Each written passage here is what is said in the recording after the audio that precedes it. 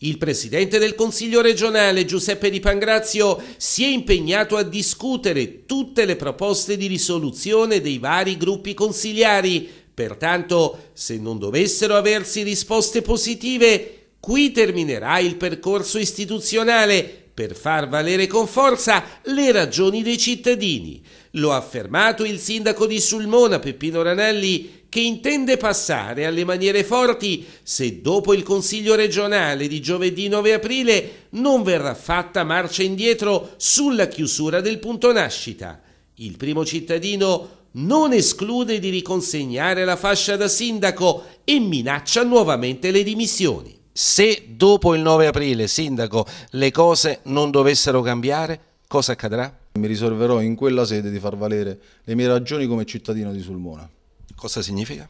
Significa che noi ancora con più forza cercheremo di porre una questione, cioè che i territori del centro, posso, del centro Abruzzo, delle aree interne, non possono essere discriminati a vantaggio della costa. Si è già verificato in passato, non vogliamo che questo risucceda in futuro. Iniziative forti che vuol dire? Riconsegnare la fascia, qualcosa del genere? Può significare tutto, anche quello che il fatto che Peppino Ranalli non sia più sindaco della città di Sulmona. Il primo cittadino di Sulmona, nel fare il punto della situazione, ritiene giusta la battaglia perché la chiusura del punto nascita dice andrebbe a vanificare il lavoro intrapreso in un anno e mezzo che ha permesso di sbloccare i lavori del nuovo ospedale. Le soluzioni ci sono, ma se non saranno adottate, Peppino Ranelli si dichiara preoccupato per il futuro del nosocomio del capoluogo Peligno. Riteniamo che oggi la privazione di questo punto nascita motivato dal rientro del commissariamento della regione Abruzzo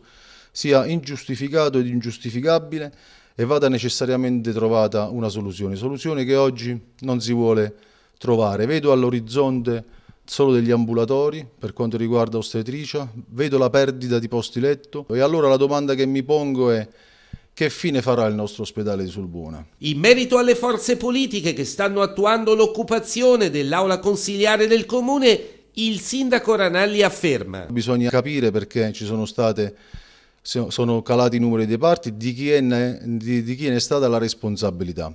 Invece vedo oggi, molte persone impegnate con una protesta forte, che è quella dell'occupazione, che i loro rappresentanti sono stati impegnati in prima persona su questo problema e nulla è stato fatto negli ultimi cinque anni. Siamo nel corso delle festività pasquali, io ritengo che in questi giorni debbano essere abbassati i toni.